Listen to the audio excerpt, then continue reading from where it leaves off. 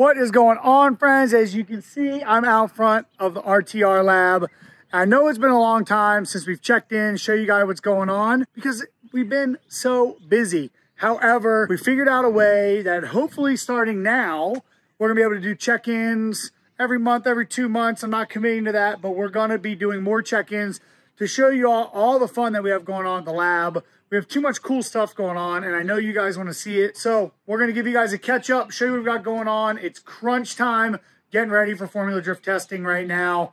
Frankly, I'm a little bit nervous for the first time, but then I know how badass our team is. They're going to get it done. So let's go check out what's going on. Make sure you guys leave a comment.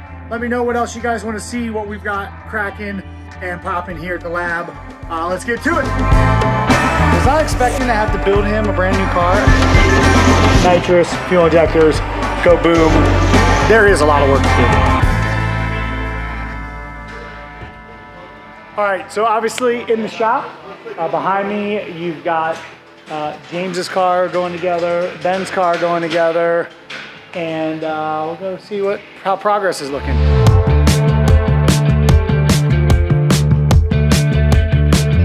Rest in peace to this hot rod.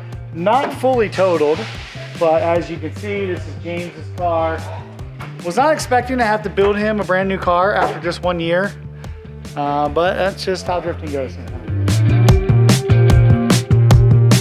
Boys having fun yet? Am I? Why am I gonna like this one over all the others? Rear quarter glass is different this year. What? Oh, dude, that is fire.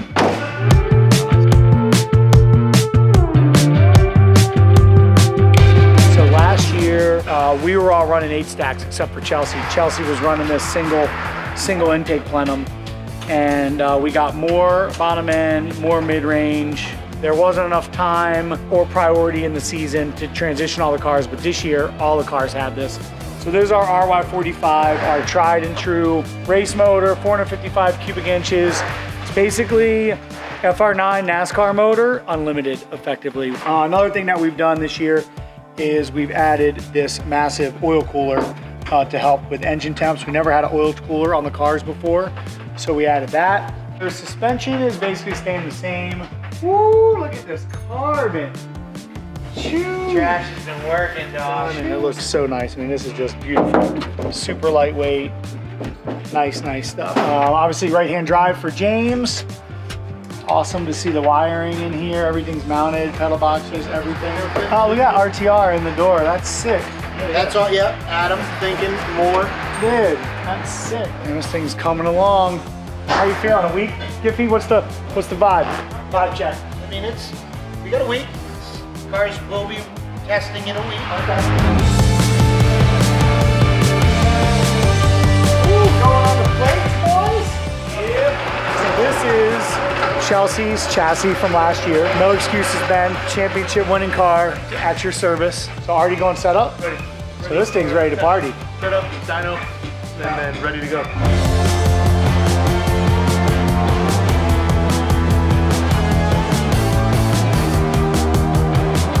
Yeah, we also have a new front uh, substructure here.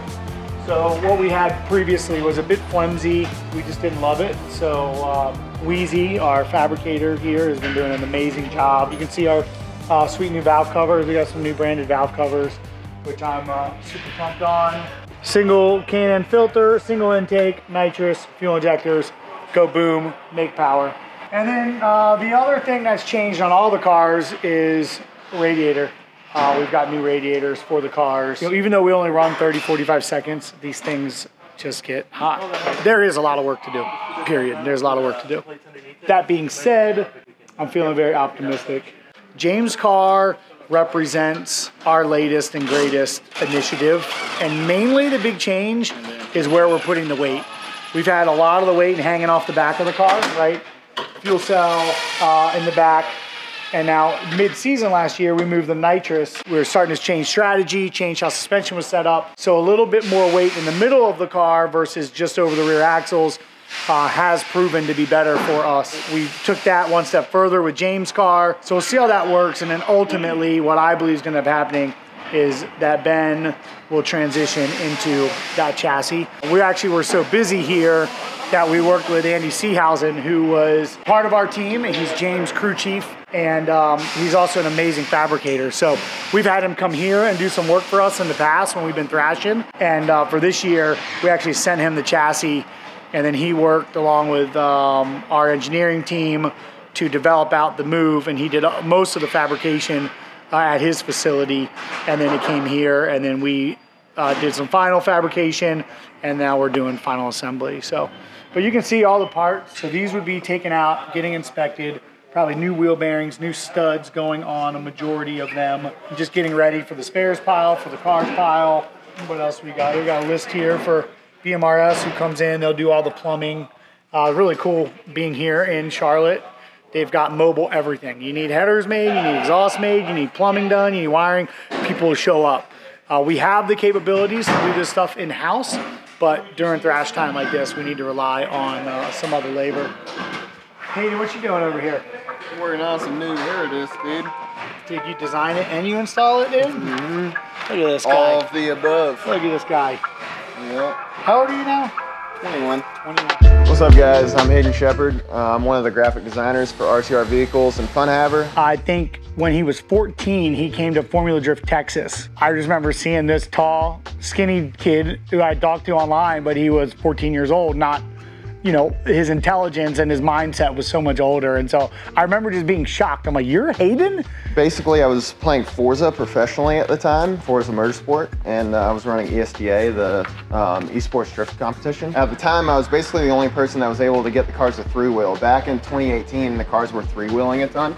I went up to Vaughn and showed him, and he was like, wow, how'd you do that? Before the 2019 season, it was like in March or something, I was basically like, hey, do y'all want me to do deliveries in Forza because we're sponsored by Forza. And he was like, yeah, that's a great idea. So I got in touch with Lindsay, the creative director for RTR. Basically, that's how it all started. Eventually got into Assetto Corsa, which is a PC simulator. And I started doing side gigs for Funhaver. Around March of my senior year of high school, I got an offer letter. Three days after I graduated high school, I moved from Texas out here to North Kakalaki and now I've been here for a little over three years now, enjoying every minute of it. Kid's design talent, his driving talent, his engineering talent, and his ability to transfer what he sees on the track to a driver's mindset is like unbelievable.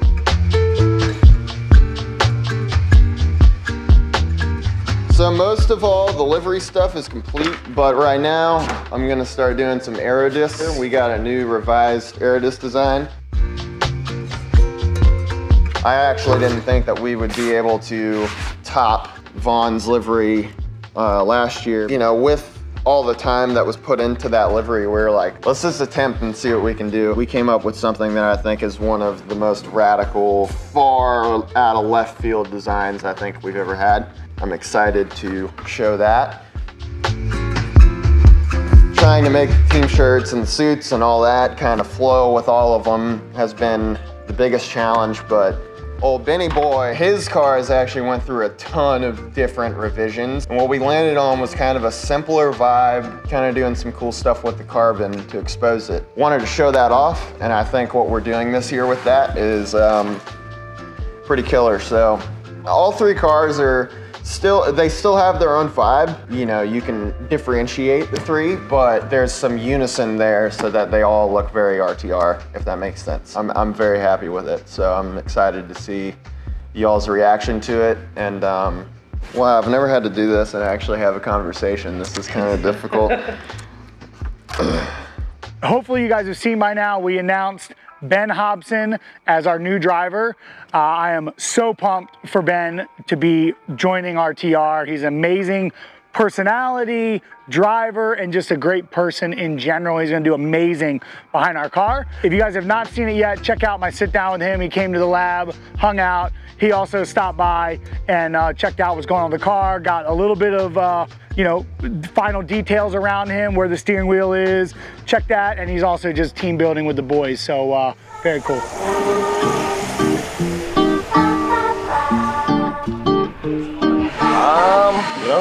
Just rode up here. It's a four hour drive from my house. I brought my girlfriend up here. She's never been up here to the lab, so figured I'd bring her up here and show her around. And then and later on, we're gonna hang out with the boys, go to the dirt track, go up to Millbridge and watch some micro sprints. and you know, just hang out and head home tomorrow. So just a quick drop in. I don't know. It's cool here. Like coming hanging out. So come see my car. You know, this just makes I don't know. It makes me not want to come here because every time I see it, I just want to drive it. So I'm ready. I'm ready to shred. So uh, yeah, I don't know. Just come up here. You know, get in touch, keep keep up with the boys. You know, come rip some crazy cards, and. Uh, Sorry, did I ruin your interview? you didn't ruin. Hey, you could never ruin it. Uh, you make it better. Fun havers, dude. That's what we do.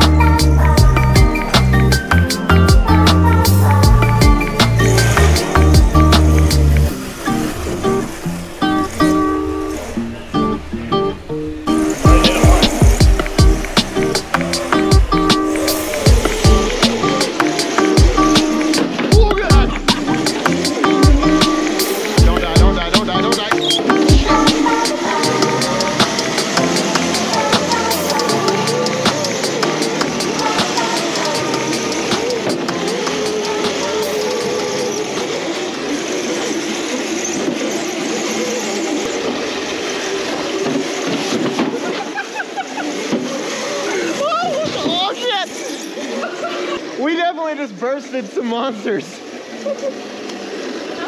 And this is my chassis. Uh, this is the car that you guys last saw me smash in the wall at Irwindale. Damn it, I can't believe that happened. This car will be uh, put back together for me to run in Atlanta. So uh, I believe that it's been straightened. Uh, I was on the frame machine, and I do believe it's already been straightened because I can see they've already done some work to get get the body, uh, get it welded up and plated up. Um, so we will get this hot rod ready for Atlanta, and hopefully we can do what we did again last year and win that bad boy straight off the couch. So I want to take a second in this video to chat about what is the Formula Drift elephant in the room. Qualifying changes. Uh, there's a lot of mixed feelings on it. I've been on the back end of this with Formula Drift uh, now for, for some time. And the mindset was really about the fans. You know, how do we make it more exciting? You know, qualifying is not that exciting. Given how good everyone's gotten, qualifying laps are pretty much very similar, at least for the top, call it 16 drivers ish. You know, there's always that one outlier that would go and do something checker wrecker type deal. But this new format in which all drivers up to 24th in points are seeded and already seeded into their top 32 bracket. And then drivers above 24 have to battle it out for those final eight positions. Personally, I think it's it's perfect. Uh, it's more tandem, it's more tandem practice. I love the idea of going into competition knowing who you're battling in your first round. That's like a huge new element, creates some cool new strategy opportunities. I also love the lack of pressure right? Like it's it's it's a big pressure thing getting through the top 32. So as a driver, that weight being lifted and just being able to focus on practice and battle just changes the game. So now practice will be focused on tandem. You'll have a little bit better strategy. Hopefully you can battle your competitor a few times and um, it's gonna be way better for the fans. So for those of you that were on the fence, I would love to ask you kindly to give it a chance. And for those of you that are on board, I say welcome to the team. Speaking of welcome to the team, I am so pumped about the new year, what we've got going on, the addition of Ben Hobson to the team. We've got James Deane will be our lead driver on the team. Brand new car, brand new chassis. We moved some weight around, did some things different with this car as a tester, which ultimately Ben will end up getting, uh, assuming it does everything that we hoped it would. Don't even think I've really even said this publicly, but I'm running Atlanta and Irwindale this year. Uh, very pumped for that. Very pumped to get back behind the wheel of our new Mustangs. They're just unbelievable machines and so fun to drive. And uh, I'd be lying if I didn't say I was a bit bummed about not being able to be with James and Ben all year. Uh, but my schedule is just uh, you know super tight, and I gotta you know pick and choose my priorities. Uh, you know, I'm, a grown up. You know, what can I say? It's all very exciting, and I'm excited to be team owner, teammate, and supporter from the sidelines and from behind the wheel this year. And uh, yeah, a lot going on, as you saw, right? We've got the guys are just trashing. I mean, there's going to be people sleeping here in the shop. And last year this happened, and this year this is happening again. You know, previously we pride ourselves on being the team that's just calm, collected, and ready to go. But it's been a thrash because we've just been so busy with other special projects and, and things like that. So, is what it is. I'm very grateful to have the team here that is willing to put in the time, make the magic happen, and. Um, yeah, next video is going to be an update and seeing if we're making it. Uh, cars are going to get finalized, wraps will be going on, and then we'll be going to testing before we ship the cars out to Long Beach. That's the dream. I'm feeling like the guys can do it. We've all seen the RTR team do some amazing things, so uh, I don't have any doubts in this moment. And uh, I just can't wait to see these cars testing and James behind the wheel of his new car and Ben behind the wheel of his first Mustang RTR Spec 5 FD. It's going to be amazing.